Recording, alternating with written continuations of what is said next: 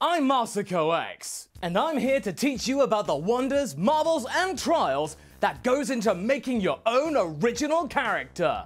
So cool! Now before we begin, I'd like to bring to your attention the marvelous workings of today's sponsor for this videogram, NordVPN. With servers based in over 60 countries, their military-grade encryption technology keeps me and you safe from nefarious ideas and ne'er-do-wells who wish to tell you the wrong ways to write your own original characters as well as steal your personal information.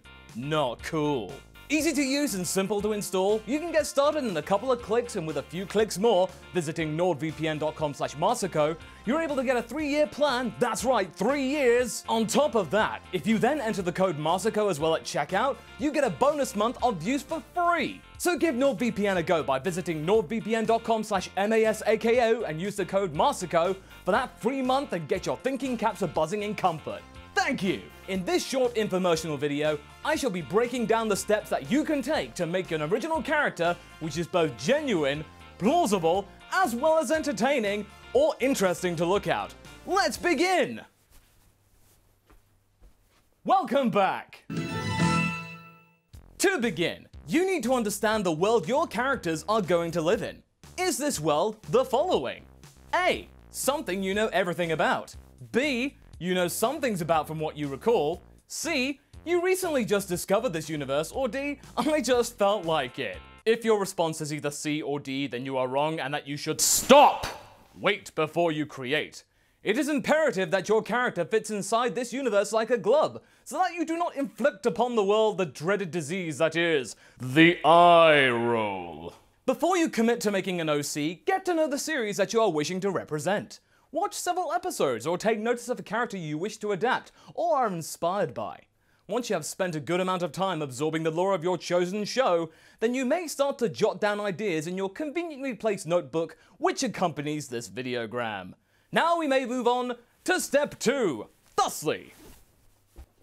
This is now step 2. If you wish to make your character the strongest person in this lore, stop! Try to balance your character like a finely tuned set of antique scales. Or these two things. Perfect balance makes people smile. Have your character convey certain flaws within their personality which conveys a particular quirk or internal struggle. Something that can give them a character arc which allows them to grow over the course of a story. Something to strive to over a story's duration within the world of fan fiction. For example, my OC Ranch here may be the more logical child in the Dragon Ball universe, but she is still a child. As a result, she is prone to tantrums and thanks to her Saiyan nature, she can get impulsive and this may end up with rash decisions being made. Like turning Super Saiyan 3 even though she knows it's useless. Silly Ranch.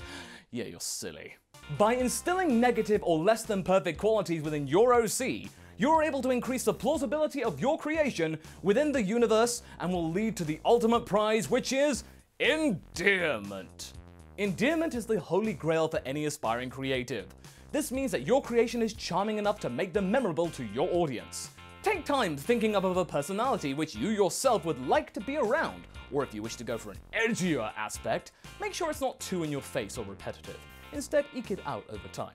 By taking these steps on board, your character will be a likable soul with a believable goal, and will be popular and everyone wants to be their friend. Neat. If you have followed parts 1 and 2, then part 3 should come naturally. In short, avoid making your character too much of a visual standout.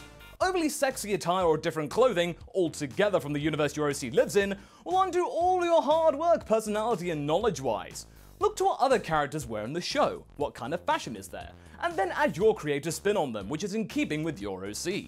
That way, it would make sense if another character were to say, borrow your OC's clothes. They would fit right in. When it comes to what is alluring, be tasteful. The imagination is a powerful thing. Oh yeah, that's the stuff. Use yours well, and your audience will use theirs well as well. So remember, know your world, balance your character, and be real with look and feel. Got it? Good! Now, stop! And check out some of our other videos on this channel. And until next time, take care and good night. Do, do, do,